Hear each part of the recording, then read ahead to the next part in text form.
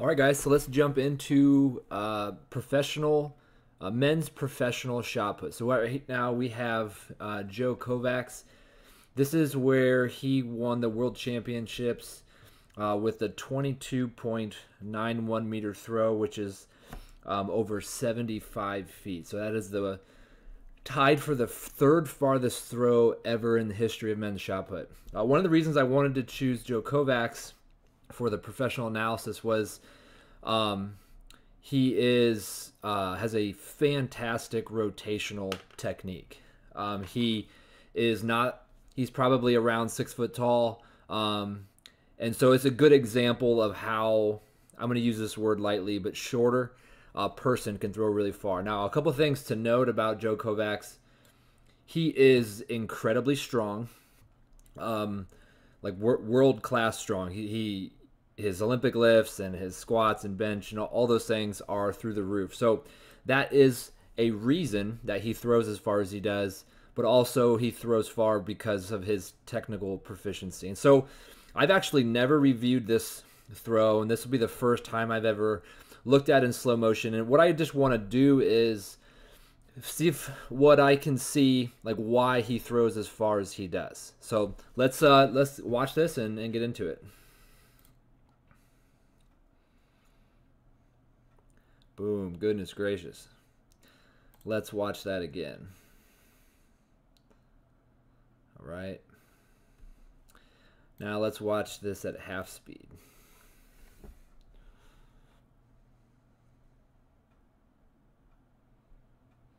Cool, cool. So let's let's go back and look at some of the things we teach. So we teach uh, through this course. We've been looking at um, wide knees, uh, posture, and shoulder behind hip. Let's just see as he goes through this throw. Oh, look at this. Okay, so this is one of the first things I noticed. Look here when his right foot makes contact in the middle. You can see he is very much on on his toe and that that right side is very strong. And look here, look at how how far this left foot is off the ground when this makes contact. You'll, you probably notice when you when you look at some of your own throws how um, when this comes down, your left foot is just barely coming off the ground. So this shows that Joe is uh, flying forward, really moving fast, um, has an excellent sprint off of his left. You can see here um, the knees as he comes around. The left foot turns all the way to the sector, and his knees are apart. And then you, what I what I like to notice is, in order for his knees to stay apart like that, that means his his whole lower body is very strong and rigid. So that as as that right is flying around, as this is turning that right hip switches and goes to the middle and his left foot comes along with it. So that is very, very impressive. Very connected. So other thing I see here is it's hard to see, but his right hip definitely is pointing towards the sector. So like this like his pocket is is is is there. You can see the shot put, his shoulder is back here. So here, upon landing, not only is this left foot really good, but the shoulders behind hip. And I like what he's doing here with that with that long left arm. I think this le- long left arm um, it helps keep this sh- shot put back as his legs are are rotating and, and really going forward into the circle. So he lands. Again, everything is about um, the speed through the circle, the ability to turn on our feet. Let's look back here. You can see that the very second that this right foot makes contact, that it's turning. It's not a crazy turn, right? It's just turning, turning, turning. And here, okay, so here his left foot makes contact. He is open a little bit, right? So his, his head um, is is looking out to the side, but obviously this is one of the best throws in history. I would say this shot put is loaded behind this hip. You can see how his posture is actually fantastic. His hip is over the foot, and you can see that the, both the hip is moving this way and the foot. He already has that that rotational movement happening, and there that shot put is, and his shoulder is behind the hip. So that is a, a very good power position. One thing I find interesting, so uh, I, I, teach, and, and when I was taught by Coach V, we teach a flat left foot in the front.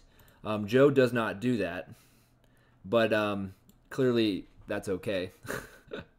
what what you notice a lot of times with the professional throwers, everybody everybody has their own style, their own flair. You could even say errors.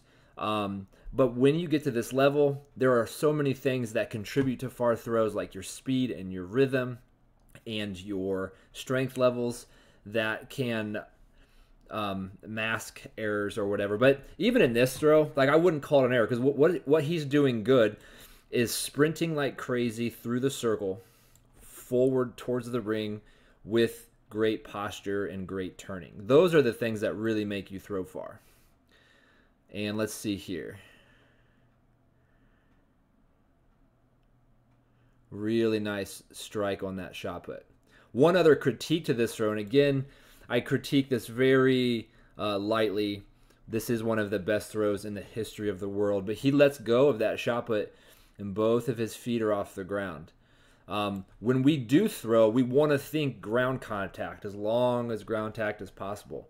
But what he's doing is um, exploding like a box jump, like a vertical jump, crushing that shot put. Uh, one other thing I'll say is when we reverse, our ideal reverse is this right foot lands where our right, our left foot was, and you can see he does that perfectly. Lands that for the most part flat. So there you go. So I think the the reason he throws as far as he does, one is this incredible sprint coming off his left and the uninhibited transition in the middle. So he goes has this wild sprint and then there's no hesitation here. Just continues to to um, continue to progress into the throw, and he does all of that with the shot put shoulder behind the hip. Uh, and then you couple that with world world class strength levels, and you get a 75 foot shot put throw. So uh, that is awesome.